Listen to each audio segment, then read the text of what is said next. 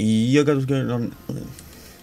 Yo guys, what's going on? It is me, KRV, and in today's video, I'm going to be showing you guys this amazing Mirage DPS build. Now, I was the one that found this build.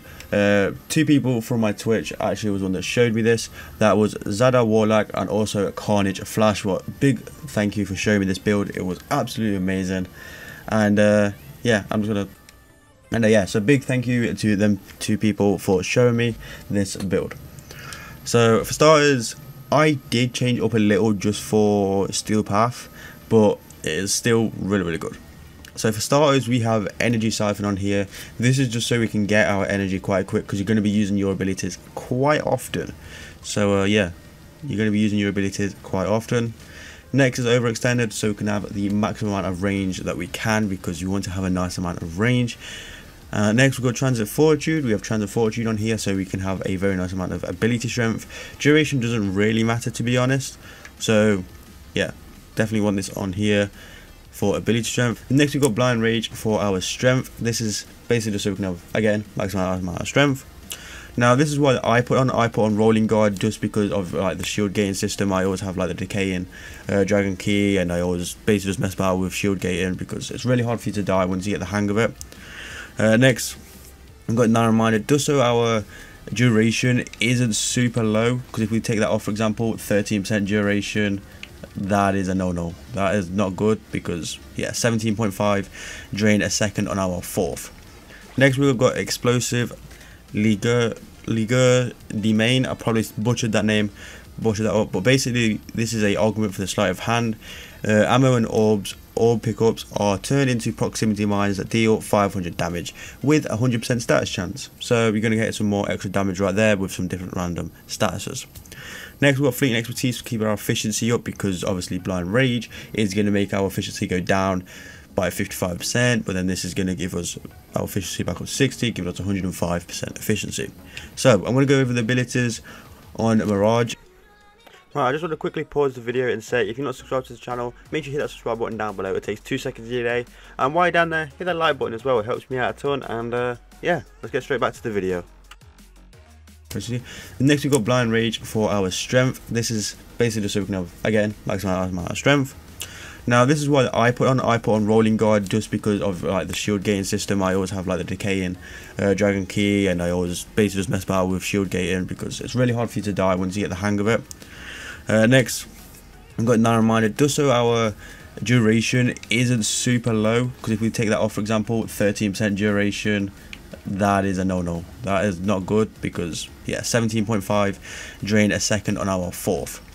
Next, we've got Explosive Liga Liga the main. I probably butchered that name, butchered that up. But basically, this is a augment for the sleight of hand. Uh, ammo and orbs, orb pickups are turned into proximity mines that deal 500 damage with 100% status chance. So you're going to get some more extra damage right there with some different random statuses. Next, we've got Fleeting Expertise to keep our efficiency up because obviously Blind Rage is going to make our efficiency go down by 55%, but then this is going to give us our efficiency back on 60, give us 105% efficiency. So I'm going to go over the abilities on Mirage and yeah. So for starters, we have a Hall of Mirrors. Hall of Mirrors, basically what this does is Mirage creates an entourage of dupl duplicates to confuse and distract enemies. This can increase damage as well because each duplicate can deal damage to an enemy. So yeah, really good. It also helps you surviving as well. So you want to always have this up because it helps you survive quite a bit. Next we've got Sleight of Hand. This basically booby traps nearby objects while uh, conjuring and yo, why do they always use big words? Basically what this does is it just sets booby traps on the floor and yeah you can change with the augment you can basically ammo drops or that can turn to a booby trap so really really good one to have Next we've got Eclipse, this is really simple, this gives us damage increase and damage reduction. So when you are in the light, I believe you get damage increase, when you're in the darkness, you get damage reduction. Standing in light, Mirage deals heavy damage, while in the shadows, makes Mirage difficult to track and even harder to hurt. So yeah, You get damage reduction when in the dark, and you'll see the differences when in the top right. When you got 388%, just know that's damage increased, not damage reduction. Uh, really simple there. Next is Mirage's Prism. Now, this does insane amount of damage. You saw by the start in the video, this was shredding Steel Path enemies. So this basically what this is is fires an energy prism that shoots lasers and in all directions, activating again detonates the prism, blinding nearby foes. Now basically what this is really good because when you throw this out, it does drain your energy a second, but you could just cancel that out if you really need to. Like you killed all the crowd, you just cancel it out. So yeah, this does a total of 485 radiation damage, but it does a lot more damage than 485. It can wipe. Now it says 485, but you could wipe them easy. It's really, really good.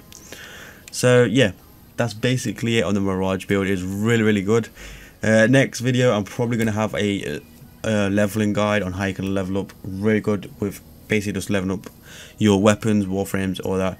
And uh, yeah, make sure you go check out my Twitch and Discord. Link is in the description down below. On our Twitch, we do giveaways. We have a system basically where you can get points for watching the stream and get uh, a bunch of stuff like Warframe sets, uh, Platinum, all that. So if you want to come and check out, in the description down below. So yeah, see you guys later. Peace out.